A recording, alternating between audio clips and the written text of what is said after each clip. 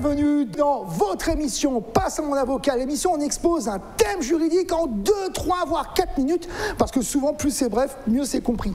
Aujourd'hui, de quoi s'agit-il? Quel est le sujet? Eh bien, le sujet, c'est le compte courant d'associés.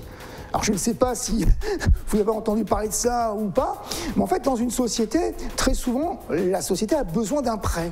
Et donc l'associé dit, bah, écoutez, c'est très bien, moi j'ai un peu d'argent, je vais vous prêter par exemple 30 000 euros. Et cette somme sera sur mon compte courant d'associé, un petit peu comme une banque qui fait une avance. La belle affaire, parce que pour la société c'est intéressant, elle a entre guillemets un argent de suite, c'est pas une banque qui prête, et puis on peut envisager une rémunération qui est assez faible, donc très intéressant. Et puis en même temps, l'associé qui prête ne participe pas autant au capital social. Je m'explique. Je suis associé à 30%, 30%, 30% à 10%. Si j'apportais une somme de 30 000, par exemple, ça pourrait faire que j'ai 80%.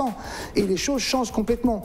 Donc le compte courant d'associé permet d'apporter de l'argent à la société, mais sans forcément qu'au niveau des droits entre les associés, les choses changent d'une façon ou d'une autre.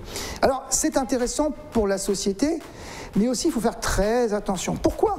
Eh bien, sur pareil, quand tout va bien, eh bien, tout va bien. C'est une lapalissade, ça, on le connaît. Mais par contre, dans les sociétés, euh, souvent, tout ne va pas bien. Et dans ces cas-là, eh bien, l'associé qui a apporté, par exemple, 30 000 euros, on va dire, écoutez, pas de problème, moi, je veux tout de suite mes 30 000 euros, ça ne fonctionne pas entre nous, je veux qu'on me les rende. Eh bien, ce dernier pourra les exiger de suite, de suite.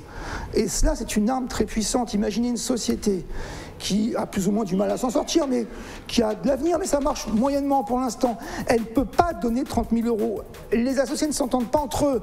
Le gérant et l'associé principal qui a par exemple versé 30 000 euros, c'est pas l'amour fou.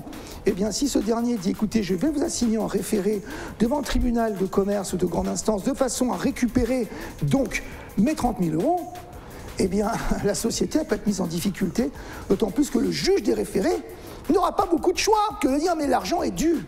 Et c'est pour ça qu'il faut prévoir là aussi une convention très précise de compte courant, dans laquelle on prévoit bien sûr un taux, mais un délai, avec tout simplement une clause. Mais c'est pas si simple que ça. Je vous conseille là aussi de voir un avocat pour que l'argent en question, il y ait un délai pendant lequel on ne puisse pas tout simplement le réclamer. Je conseille en général trois ans, c'est à peu près la bonne période. Au-delà, c'est pas évident, mais aussi une rémunération adaptée. Parce que une rémunération, ça a l'air de rien, mais lorsque celle-ci euh, fait plusieurs pourcents sur plusieurs années, que parfois on oublie le remboursement, parce que c'est ce qui se passe quand ça fonctionne bien. Le remboursement, il n'y a pas de convention, on ne le fait pas tout de suite. Et même si on devrait faire une convention, on ne la fait pas, eh bien, au bout de 10 ans, ça peut en faire des intérêts. Et on oublie. Et là aussi, ça ne règle pas les problèmes. Et puis, il faut quand même faire très attention. Parce que ce qui se passe souvent, c'est qu'un associé a un compte courant important, c'est vu plein de fois, 120 000, 200 000 euros, il se dit, je vais me faire rembourser. La société ne fonctionne pas bien, et puis il attend forcément. Il se dit, bah, je ne vais pas demander un remboursement de 200 000 euros, alors que la société ne va pas. Et puis malheureusement, elle va tellement pas bien qu'elle est en liquidation judiciaire. Et là, on lui dit, mais monsieur, bah, votre argent, vous ne le verrez plus. Puisque vous avez ce prêt que la société n'est pas en mesure de vous rembourser, il y a liquidation, eh bien, je suis désolé pour vous, malheureusement, cet argent ne pourra pas être payé. Et ça, c'est une grosse difficulté. C'est pour ça que tout ce qui paraît simple dans un premier temps est quand même délicat. Et là aussi, si on envisage une période trop longue, je ne pense pas. Il vaut au contraire, les trois ans dont je vous ai parlé me paraît la bonne période entre deux et trois ans. Ainsi s'achève notre émission Passant d'avocat et je vous dis à bientôt